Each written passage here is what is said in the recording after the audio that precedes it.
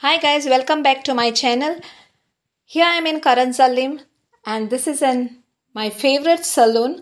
This is my sir's saloon and he used to train me in Bina Pojani's academy and still he has been training me and upgrading me and I always come here and get upgraded and uh, today I'm going to see what he's going to do with my hair and what he's going to teach me and train me today in something new.